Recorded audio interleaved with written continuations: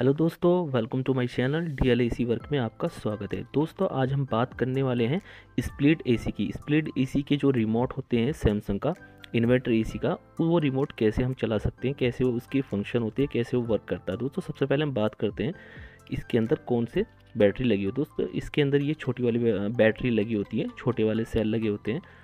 उसके बाद दोस्तों हम बात करते हैं यहाँ पर।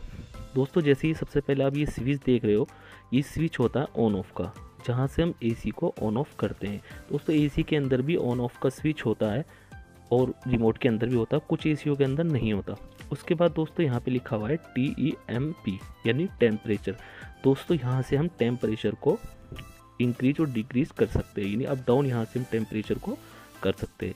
उसके बाद दोस्तों बात आती है मोड की। जैसे दोस्तों गर्मी है तो गर्मी में हम ऑटो में रख सकते हैं। अगर ऑटो में रखने के बाद भी कूलिंग नहीं कर रहा है, अच्छी कंफर्टेबल हम उसमें नहीं है तो हम इसे प्रॉपर कूलिंग पे कर सकते हैं। या फिर हमें जो है गर्मी चली जाती है, जो मौसम थोड़ा नॉर्मल हो जाता है, जहाँ जब ज़्यादा गर्मी नहीं होती और हमें चाहते हैं कि सिर्फ़ इसे एक कूलर या फ़ैन के रूप में इसी को इस्तेमाल करें तो वहाँ पे हम दोस्तों इसे फ़ैन पे कर सकते हैं। यहाँ पर हमारा कंप्रेसर बंद रहेगा।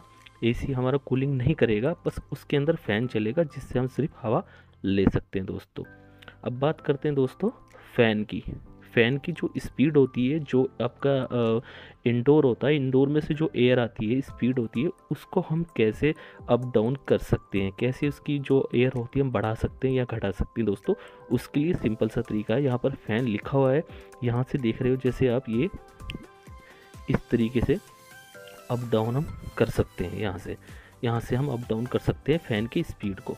उसके बाद आता दोस्तों ये टाइमर का ऑप्शन टाइमर का ऑप्शन हम तब करते हैं यूज़ करते हैं जब हमें एसी को एक लिमिट समय तक चलाना होता है कि जैसे हमें एक आ, हम चाहते हैं कि रात को 12 बजे एक बजे या सुबह चार बजे हम चाहते हैं कि एसी बंद हो जाए अपने आप ऑटोमेटिक तो यहाँ पर हम दोस्तों टाइमर का यूज़ कर सकते हैं हम अपने इसमें टाइमर लगा सकते हैं।